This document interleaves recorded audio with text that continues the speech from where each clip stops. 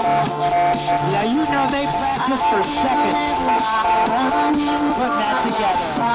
What are your names? Robin! Miley and Robin.